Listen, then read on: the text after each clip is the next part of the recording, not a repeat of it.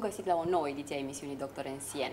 Invitatul meu de astăzi este psihiatrul Cristian Erdei. Bine ați venit la noi! Mulțumesc frumos de invitație! Iar uh, subiectul este unul cât se poate de la modă, dacă aș putea să-i spun așa, problema pe care o au dependenții de jocuri video. Organizația Mondială a Sănătății tocmai, tocmai a recunoscut dependența de jocuri video și problema este globală. Cum se creează această dependență?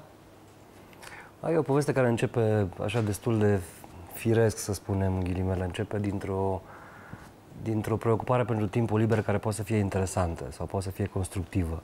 Doar că încet, încet se întâmplă așa insidios un fenomen în care oamenii realmente nu mai pot controla povestea asta. Ideea de a substitui lumea reală cu o lume virtuală poate să fie foarte tentantă, pentru că în lumea virtuală există niște beneficii, să spunem, sau, sau niște, niște chestii atractive pe care poate nu le găsim aici sau le găsim mai greu în lumea reală. Și cumva asta e elementul din culise care atrage în, în povestea asta. Cam la ce vârstă încep să descopere tinerii uh, jocurile video? Acum din ce în ce mai devreme, cred. Mă gândeam la fica mea, care are acum un telefon de câteva luni, are șase ani și deja lucrurile încep de la vârsta asta, pentru că sunt foarte, foarte sharp să vadă tot felul de lucruri și să apese pe butoanele necesare, așa că sunt destul de precoce, vârste foarte mici. Uh, noi, părinții, avem uh, vreo influență asupra viitorilor dependenți, dacă pot să le spun așa? Categoric, categoric, da. Și de, lucrurile încep din familie în care cineva observă această problemă de dependență. E foarte important ca cineva din jur să observe când se întâmplă asta. Nu conștientizăm, nu vorbesc în calitate de părinți. Vedem copiii că stau foarte mult uh, pe telefon, pe da. alte gadgeturi. Da, acum... E este, vorba de limite? E vorba de limite, este o graniță. Nu orice persoană care accesează un joc video devine dependentă. Până la urmă, până, până într-un punct, lucrurile astea poți dezvolta creativitatea, rezolvarea de probleme. E o metodă utilă de a petrece timpul liber. Dar de la un punct încolo apar niște semne îngrijorătoare. De exemplu, atunci când viața devine un soi de sală de așteptare pentru momentul în care o să joc. Și atunci orice alte activități, orice alte preocupări sau orice alte pasiuni sunt puse la o parte și această poveste cu jocurile devine prioritară. E ca un fel de singurul moment în care mă simt bine sau sunt fericit. Ăsta e un criteriu. Apoi ideea de a petrece foarte multe ore, unor chiar zile întregi. Au fost câteva cazuri celebre, știți, nu, care au stat nu știu câte ore, oameni care au murit, să zicem. Mă rog, sigur că se întâmplă foarte rar lucrurile astea, dar ideea de a petrece ore, zile întregi, nopți întregi, fără să mă pot opri să joc, e un semn destul de evident pentru cei din jur.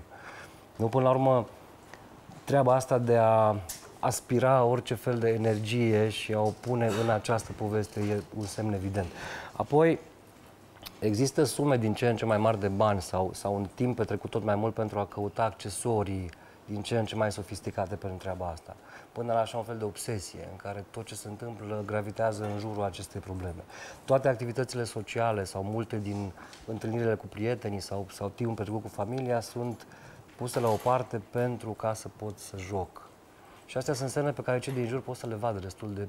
În cazuri grave sunt și probleme din astea în care oamenii abandonează igiena personală, chiar și când mănâncă, se joacă în același timp pentru ca să nu piardă. Știi, povesteam cu cineva îmi spunea, în loc să fac dușul ăla de 15 minute, mai bine joc în alea 15 minute și mai, mai câștig un nivel sau ceva de genul. E, cumva pare așa tragicomic, dar e o mare problemă pentru cei care sunt prinși în capcana asta. Am adus două controlere, dacă vreți să ne jucăm. Da. Um, înainte, oamenii mergeau în sălile de jocuri pentru a se juca și se jucau cât aveau bani. Acum, aproape toți tinerii au o consolă sau au un joc pe calculator. Această accesibilitate a influențat în vreun fel dependența de jocuri video? Da, pentru că e mult mai facil și mult mai tentant. În momentul în care obiectul unei dependențe e în fața mea non-stop și acel obiect e folosit și în alte scopuri care pot fi utile, atunci e foarte greu să controlezi asta e din ce în ce mai tentant, mai ales atunci când nu mă vede nimeni, nu dacă sunt un puș de 10 ani, 14 ani, nu mă vede nimeni și știu că pot să am acces ușor la chestia asta, e foarte simplu. De asta, în momentele în care e o problemă conexiunea la internet sau ceva se întâmplă din punct de vedere tehnic și nu pot să joc, atunci intru ca și în orice dependență într-un fel de sevraj. Devin foarte irascibil sau foarte neliniștit pentru că nu pot să am acces la, la povestea asta. Doar că, da, cum spuneți, faptul că e mereu în fața mea, obiectul dependenței face dificil uh, renunțarea la genul ăsta de, de adicție. Cum se poate interveni? În primul rând, e necesar, dacă e vorba de un copil sau un adolescent, ca cei din jur să observe asta și să ia măsuri evidente. E important să înțelegem mecanismele din spatele dependenței. În uh, jocurile astea, mai ales în cele mai mulți parteneri, în jocurile multiplayer online, de exemplu, există niște roluri pe care oamenii le au acolo, ca un fel de status. Oamenii pot să aleagă personajul pe care și-l doresc. Pot să aibă niște recompense foarte rapide și foarte, foarte tentante la eforturile pe care le depun. Toate lucrurile astea sunt un fel de înlocuitor a ceva ce în viața reală devine mai dificil. Și atunci, ceea ce căutăm acolo e un soi de e, e un soi de recunoaștere, un soi de apartenență dacă facem parte din grupuri de jucători, de exemplu. Un soi de validare a unor aptitudini, performanțe pe care ni le dorim de fapt în viața reală. Și atunci și în terapie e foarte important ca în locul acestor activități, părinții sau cei din jur să, să propună activități alternative care au același soi de beneficii. Și asta e foarte important. Deci ideea de nu mai juca și atât nu, nu ajunge. E important ca în loc de joc să am alte activități care să-mi dea același sentiment de a fi acceptat, de a fi recunoscut, de a fi validat, de a mă simți un om valoros, de a face parte dintr-un grup, etc.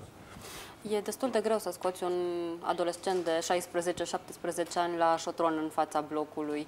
Ehm, părinții nu ar trebui să-și dea seama mai devreme Ba da, înainte să se piardă controlul. E adevărat, da, doar că e destul de dificil pentru că de multe ori lucrurile astea se încurajează într-un mod subsidiar. Suntem ocupați ca părinți, avem multe chestii. Uneori ni se pare că e ok copiii să stea un pic să se joace pe anumite lucruri. Până la un punct, lucrul ăsta, repet, e benefic. Dar de multe ori granița aia nu se vede, e o graniță uneori invizibilă chiar și pentru cei foarte apropiați de copii, să zicem.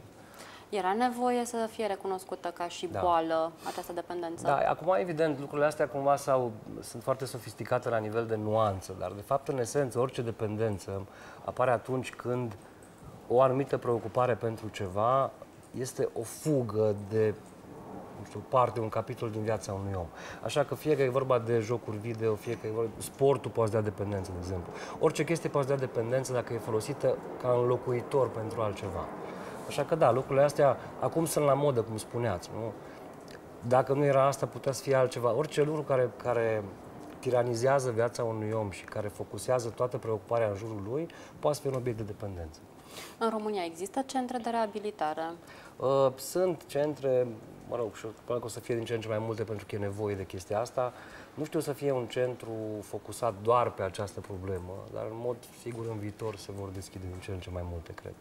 De ce Sunt este... tabere, de exemplu, unde se pot face grupuri de oameni care pot să lucreze în jurul acestor chestii. În, în general sunt centre de dependență, legate de mai multe dependențe, printre care și dependența de jocuri video. De ce este important să primească ajutor specializat dependenții de jocuri video? Pentru că la un moment dat poate fi o problemă foarte greu de controlat fără terapie. În cazuri super grave, în cazuri exagerat de grave, se poate, se poate acorda chiar și terapie farmacologică, medicație pentru genul ăsta de probleme, pentru că lucrurile scapă de sub control la un mod foarte, foarte sever. De exemplu, poate să apară depresie, poate să apară anxietate, poate să apară o izolare socială care realmente scoate individul din orice fel de rețea socială reală. Și atunci lucrurile sunt destul de severe la nivelul ăsta. Vă mulțumim foarte, foarte mult pentru toate informațiile, iar cu dumneavoastră să ne revedem sănătoși.